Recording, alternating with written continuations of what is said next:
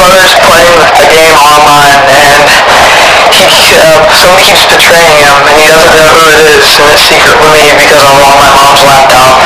But listen, listen to me flipping out.